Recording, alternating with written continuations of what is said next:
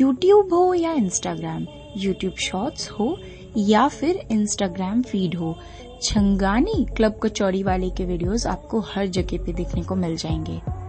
जैसे कि आप सभी को पता है कि छंगानी क्लब कचौड़ी वाले अंकल जो है काफ़ी गुस्से वाले हैं और वो काफ़ी ज़्यादा गुस्सा हो जाते हैं जब भी कोई फ़ूड ब्लॉगर या फिर कोई कंटेंट क्रिएटर जो है उनसे जाके इंटरव्यू लेता है।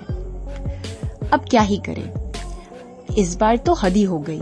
मतलब छंगानी कचौड़ी वाले के पास एक बंदा गया और ऐसे कुछ सवाल पूछे, ऐसे तीखे सवाल पूछे, जिसके बाद जो है छंगानी कचौड़ी वाले अंकल काफ़ी ज़्यादा गुस्सा हो गए।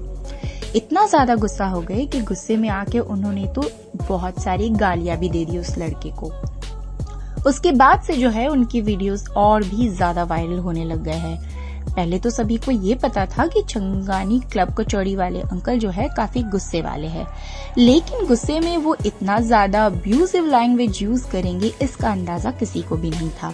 तो काफ़ी ज़्यादा बहस बात होने के बाद जो है, झगड़ा शांत हुआ, लेकिन गुस्से में चंगानी अंकल ने इतनी ज़्यादा गाली दे दी इस बंदे को कि वो और भी ज़्यादा वायरल हो गए। देखो इनके कचौड़ी का तारीफ़ तो हर कोई करता है, जो कि पिछले 40 साल से इनके ही दुकान से कचौड़ी खा रहा है, वो भी बिना किसी फेम के।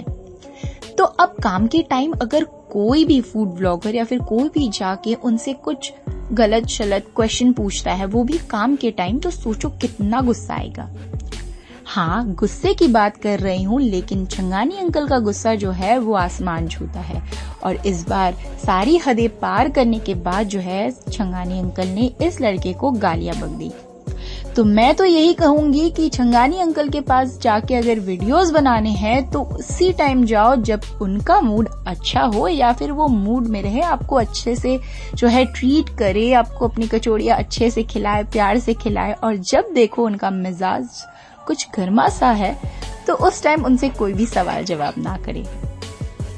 और अगर वीडियो अच्छी लगी हो तो लाइक शेयर सब्सक्राइब करें।